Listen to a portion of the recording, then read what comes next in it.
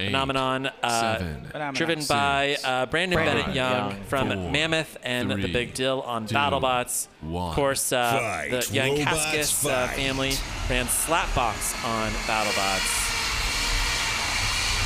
Ooh, I see some fire! There it is. There it is. This is Mini bot losers bracket flying. round three. This is a do or die moment for both of these robots. For Phenomenon or Dragon Princess, their season will end in the next three minutes. We are not seeing the kind of explosive fire that we saw from Dragon Princess earlier in the season. No. Looks like both of these robots are stopped dead in the water. Knockout. Wow. Yeah. Big knockout for Phenomenon on Dragon Princess. I want to give a round of appro- applause to Annika Yankaskas and Dominic for putting on some of the most entertaining fights.